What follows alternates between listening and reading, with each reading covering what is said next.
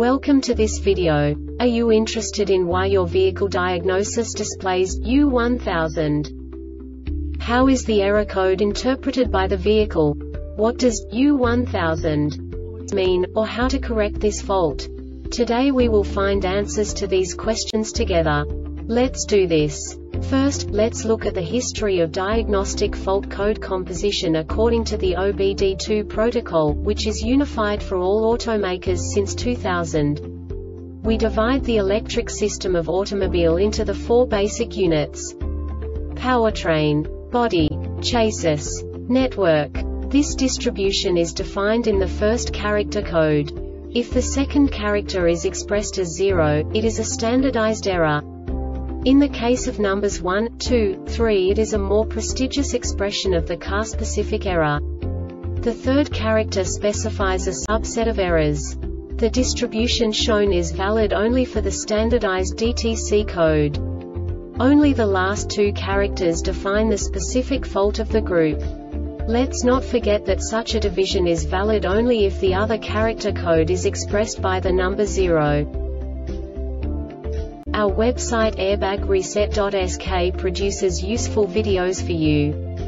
You do not have to go through the OBD2 protocol anymore to know how to troubleshoot any car breakdown. You will find all the diagnostic codes that can be diagnosed in a Hyundai vehicles. Also many other useful things.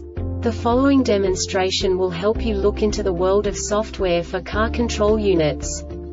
You unbelievably can move the video a bit further. The error code is split into two bytes consisting of 16 bits. One bit is the basic unit that each computer works with. The bit has two logical states.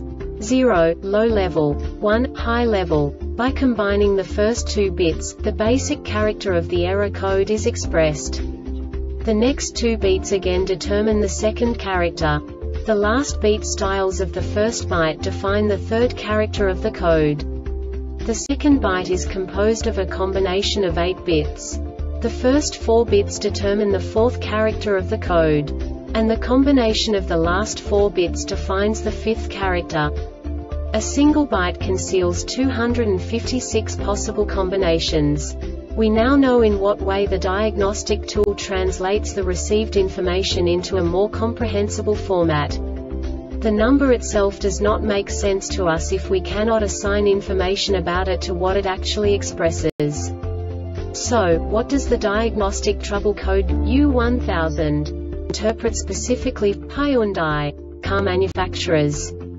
The basic definition is ABS normally open base brake solenoid valve circuit shorted.